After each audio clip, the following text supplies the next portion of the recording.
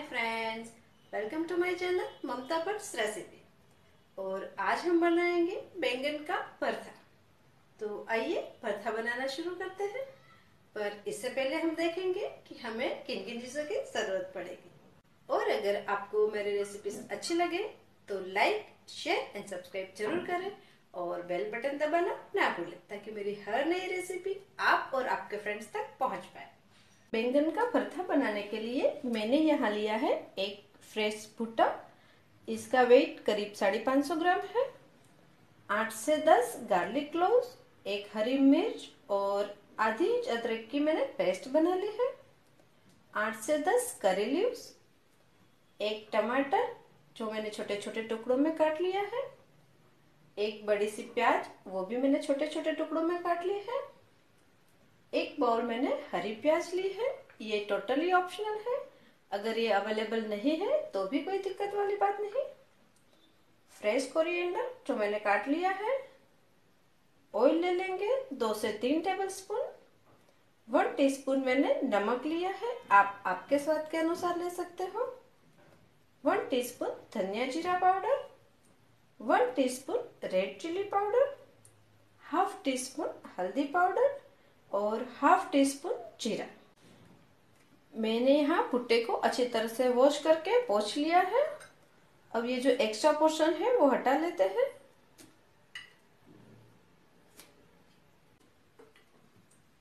और निफ की हेल्प से हम छोटा सा कट लगा लेते हैं इसमें। यहाँ मैंने चार कट लगाया है। थोड़ा सा ऑयल लेके इसके ऊपर स्प्रेड कर लेते हैं। ऑयल को बिल्कुल हल्के हाथ से स्प्रेड कर लेंगे। अब गैस पे ऐसी कोई जाली आपके पास है तो वो रख सकते हैं। नहीं तो आप ये भी रख सकते हैं, जो अपने डाइनिंग टेबल पे यूज़ करते हैं, वो स्टैंड भी रख सकते हैं। मैं ये जाली का यूज़ कर रही हूँ। अब ये भुट्टे को हम इसके ऊपर रख लेंगे। और गैस ऑन कर लेंगे। भुट्टे को बीच बीच में पलटाते रहेंगे और इसी तरह चारों ओर से भुट्टे को अच्छी तरह से रोस्ट कर लेंगे। अब भुट्टा चारों तरफ़ से अच्छी तरह से सीख चुका है। अब गैस बंद कर लेंगे और भुट्टे को ठंडा होने के लिए रख लेते हैं। और तब तक हम बाकी की प्रिपरेशन कर लेते हैं। करीब दो से तीन टेबलस्पून ऑयल ले लेते हैं। हाफ़ टी स्पून जीरा करी लीव्स प्याज। अच्छी तरह से सोते करेंगे।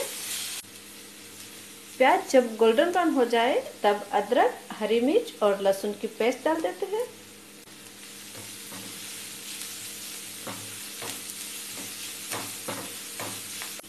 और टमाटर।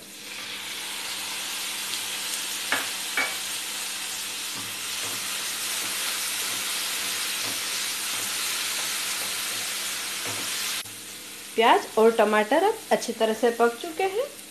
गैस थोड़ा सा स्लो कर लेंगे और बाकी का मसाला डाल देते हैं।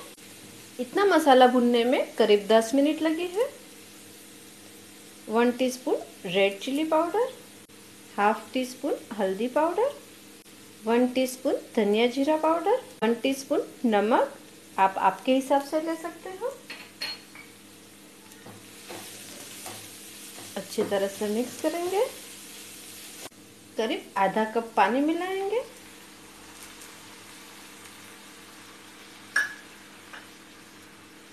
ताकि हमारा जो मसाला है, वो अच्छी तरह से पक जाए। गैस थोड़ा सा स्लो कर लेते हैं और भुट्टे को तैयार कर लेते हैं। निफ या तो हाथ का यूज़ करके आप अच्छी तरह से छील ले भुट्टे को। करीब इस तरह। अच्छी तरह से भुट्टे को मैंने छील लिया है।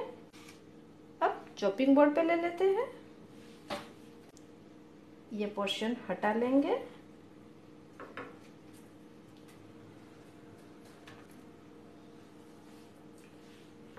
और अच्छी तरह से चॉप कर लेंगे।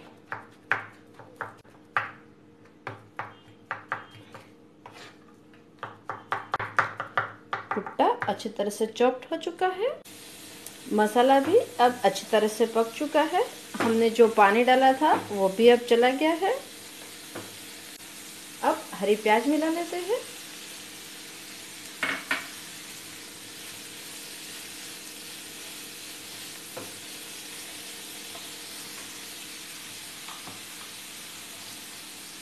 और भुट्टा भी साथ में ही मिला लेंगे।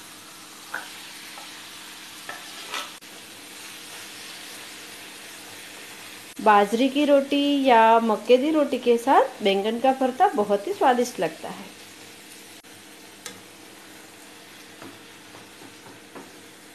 मैंने इसमें सूखे लहसुन का यूज़ किया है। अगर आप चाहो तो हरे लहसुन का भी यूज़ कर सकते हैं।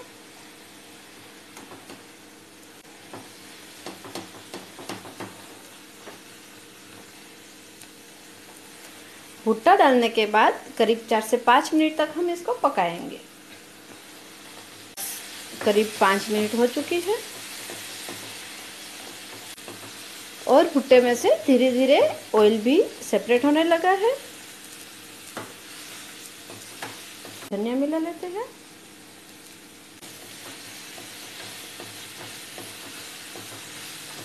फ्रेश धनिया मिलाने के बाद आधे मिनट तक पकाएँगे और इसके बाद हम गैस बंद कर लेते हैं।